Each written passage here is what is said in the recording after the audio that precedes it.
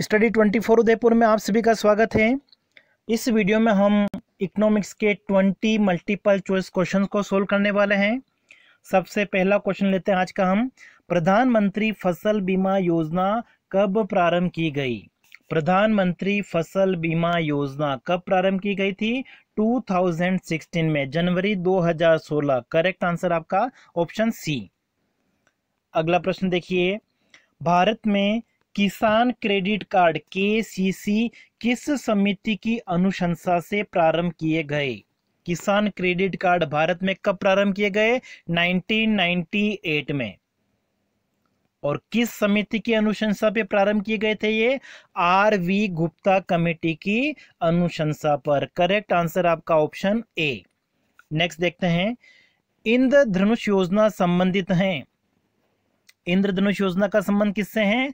वित्तीय क्षेत्रों में सुधार से। करेक्ट आंसर आपका हो जाएगा ऑप्शन सी अगला देखिए। वर्तमान में थोक कीमत सूचकांक। होलसेल प्राइस इंडेक्स की गणना का आधार वर्ष क्या है? ठीक है? थोक, कीमत, सूचकांक जो है, प्रति साप्ताहिक के हिसाब से इसकी गणना की जाती है और वर्तमान समय में इसका जो आधार वर्ष लिया जाता है वो कौन सा है? 2011-12 करेक्ट आंसर आपका ऑप्शन बी। नेक्स्ट देखिए आईएस वक्र के अनुलंब वर्टिकल होने पर कौन सी नीति प्रभावी होगी? आईएस वक्र के बारे में पूछा हुआ है, जब आईएस वक्र हमारा इस आकार का है तो ऐसी स्थिति में, देखिए, जो राजकोषीय नीति है, फ़िज़िकल पॉलिसी है, वो प्रभावी होगी। मौद्रिक नीति जो है, अप्रभावी होगी। तो यहाँ पे अगर हम देखें करेक्ट आंसर आपका क्या हो जाएगा? ऑप्शन बी आईएस वक्र अगर अनुलंब है तो राजकोषीय नीति जो फ़िज़िकल पॉलिसी है, वो इफ़ेक्टिव होगी, प्रभावी होगी।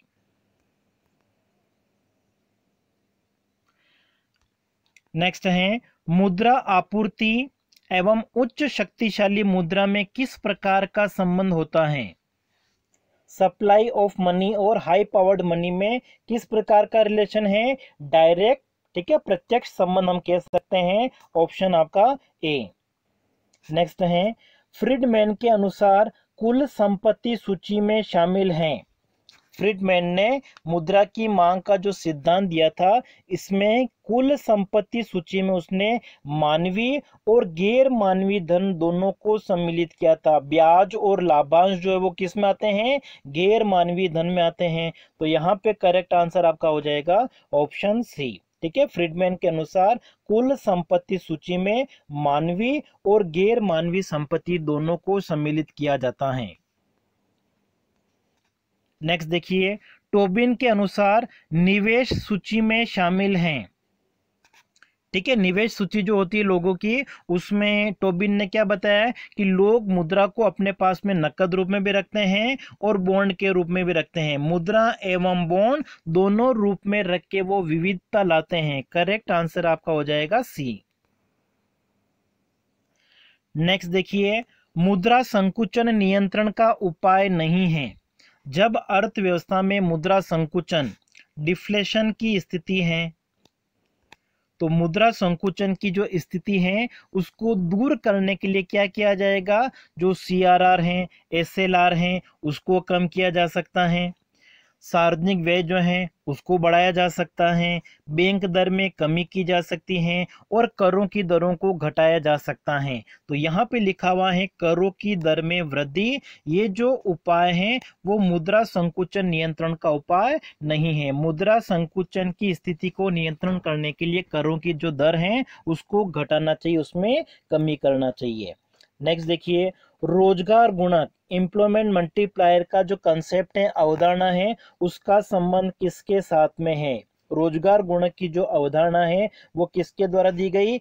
आर एफ़ काहन के द्वारा, ठीक है? ऑप्शन आपका डी और प्रोफेसर किन्स का जो मल्टीप्लायर था, गुणक था, वो कौन सा था? निवेश गुणक था इन्वेस्टमेंट मल्टीप्लायर था। नेक्स्ट देखिए कुर्नो मॉडल के संदर्भ में गलत हैं। ठीक है कुर्नो का डिओपोली मॉडल था, द्विअधिकार या जो क्लासिकल मॉडल कहलाता है, प्रतिष्ठित मॉडल कहलाता है ओलिगोपोली का तो उसके संदर्भ उसने क्या माना था कि दो फर्में हैं और दोनों फर्में क्या कर रही हैं, समरूप वस्तुओं का उत्पादन करती हैं, ये बिल्कुल सही है। और दोनों फर्मों की जो उत्पादन लागत है वो समान है, समरूप है, ये भी बिल्कुल सही है। और प्रत्येक फर्म को बाज़ार के बारे में पूरी जानकारी है। ये तीनों मान्यताएँ पूर्णो मॉडल में ली गई है, ठीक है? प्रत्येक फर्म अपनी वस्तु की कीमत स्वयं निर्धारित करती है, ये गलत है, ठीक है? कीमत का जो निर्धारण वो किसके आधार पर होता है? बाज़ार के आधार पर। नेक्स्ट है फिशर के अनुसार मुद्रा की मात्रा में 10 प्रतिशत की वृद्धि से कीमत स्तर में कितनी वृद्धि होगी? तो फिशर का जो मुद्रा परिमाण सिद्धांत है क्लासिकल थ्योरी जिसको हम कहते हैं, प्रतिष्ठित सिद्धांत, उसमें क्या बताया कि मुद्रा की मात्रा और कीमत स्तर में प्रत्यक्ष और आनुपातिक संबंध होता है। प्रत्यक्ष और अनुपातिक का मतलब क्या हो गया? मुद्रा की मात्रा बढ़ने पर कीमत स्तर भी बढ़ेगा। अगर मुद्रा की मात्रा डबल हो जाती है तो कीमत स्तर भी क्या होगा? डबल हो जाएगा। अगर मुद्रा की मात्रा में दस प्रतिशत की वृद्धि की जाती है तो जो कीमत स्तर है, वो भी कितना बढ़ेगा? दस प्रतिशत ही बढ़ेगा। करेक्ट आंसर है ऑप्शन ए। नेक्स्ट है सीईएस उत्पादन फलन के संदर्भ में सही कथन है। ठीक है, प्रतिस्थापन की स्थिर लोच का जो उत्पादन फलन है, उसके संदर्भ में क्या माना गया है कि प्रतिस्थापन की जो लोच है, वो स्थिर होती हैं। बिल्कुल सही है। और प्रतिस्थापन की लोच स्थिर होने के साथ में उसका जो मूल्य है, वो धनात्मक होगा, ज़ीरो से लेके अनंत के बीच में ठीक है, कुछ भी हो सकता है तो पहला ऑप्शन भी सही है, दूसरा भी सही है, और फिर जो सी ई एस उत्पादन फलन है, वो दो से अधिक साधनों के संदर्भ में भी लागू होता है, ये कथन भी बिल्कुल सही है। बाकी जो उत्पादन फलन उसमें दो साधन लिए गए हैं, लेकिन सी ई एस उत्पादन फलन जो है, वो दो से अधिक साधनों के प्रयोग की स्थिति में भी लागू होता है। तो यहाँ पे करेक्ट आंसर हमारा हो जाएगा ऑप्शन डी उपरोक्त सारे कथन जो है, वो सही हैं। नेक्स्ट देखिए, कोब डगलस उत्पादन फलन Q equal to A L की पावर अल्फ़ा के की पावर वन माइनस अल्फ़ा में अल्फ़ा का मान कितना होता है? अल्फ़ा प्लस बीटा दोनों की टोटल कितनी होती है? वन होती हैं। और कोई भी एक साधन ज़ीरो नहीं हो सकता है। इसलिए अल्फ़ा का जो मान होगा, वो क्या होगा हमेशा? धनात्मक होगा, लेकिन एक से कम होगा। तो अल्फ़ा की वैल्यू लेस देन वन होती है। करेक्ट आंसर ऑप्शन बी होगा। नेक्स्ट देखिए, साधनों के अनुकूलतम संयोग की स्थिति। ठीक है, साधनों का अनुकूलतम संयोग का मतलब क्या हो गया? न्यूनतम लागत की स्थिति हम कह सकते हैं। तो उसके लिए क्या कंडीशन है? जो मार्जिनल रेट ऑफ़ ट्रांसपोर्शन है। ठीक है टेक्निकल सब्सटीट्यूशन जो है marginal rate of technical substitution तकनीकी प्रतिस्थापन की जो सीमांत दर है, वो W अपॉन आर ठीक है, मजदूरी और ब्याज का जो अनुपात है, वो समान होना चाहिए, ये भी सही है। फिर M P L upon M P K equal to W upon R होना चाहिए, ये भी बिल्कुल सही है। M P L upon W equal to M P K upon R ये भी सही है। तो करेक्ट आंसर हमारा हो जाएगा ऑप्शन डी उपरोक्त सभी स्थिति सही है। अगला देखिए, निम्न में से ऊपरी लागत ओवरहेड कॉस्ट कौन सी है? ठीक है, देखिए, ऊपरी लागत का मतलब एक तरह से होता है जो स्थिर लागत है। ऐसी लागत जो उत्पादन की मात्रा में परिवर्तन के साथ साथ में परिवर्तित नहीं होती हैं, स्थिर रहती हैं। तो देखिए, कच्चे माल की जो कीमत होगी, ठीक है, वो एक तरह से उत्पादन बढ़ने पर कच्चा माल ज़्यादा खरीदना पड़ेगा, इसलिए लागत क्या होगी? बदलेगी। परिवहन व्यय भी बदलेगा। बीमा की जो किस्त है, ठीक है, वो एक तरह से क्या होगी?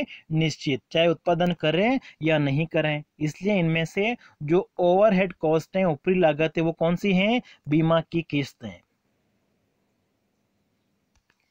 नेक्स्ट है औसत परिवर्तनशील लागत एवं औसत उत्पादकता में क्या संबंध होता है?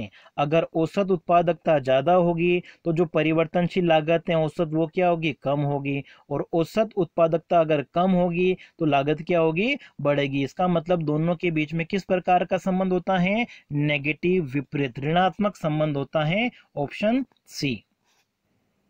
नेक्स्ट है, वह फर्म जो दीर्घकालीन औसत लागत एलएसी के न्यूनतम बिंदु पर कार्य करती है, ठीक है, जो फर्म दीर्घकाल में औसत लागत के न्यूनतम बिंदु पर काम करती है। ऐसी फर्म को क्या कहा जाता है? ये न्यूनतम लागत है। ठीक है, यहाँ पर जो फर्म उत्पादन निर्धारित करती हैं, ये उत्पादन ज़्यादा भी हो सकता है अलग अलग फर्मों के ऊपर निर्भर करता है, किसी फर्म के लिए कम भी हो सकता है, ठीक है, आकार जो होता है वो ज़्यादा कम हो सकता है, लेकिन जो फर्म इस न्यूनतम लागत पर उत्पादन करती है, उसको क्या कहा जाता है? ऑप्टिमम फर्म, इष्टतम फर्म या अनुकूलतम फर्म कहा जाएगा, ऑप्शन डी। नेक्स्ट देखिए किस बाज़ार में मांग की प्रतिलोच क्रॉस इलास्टिसिटी?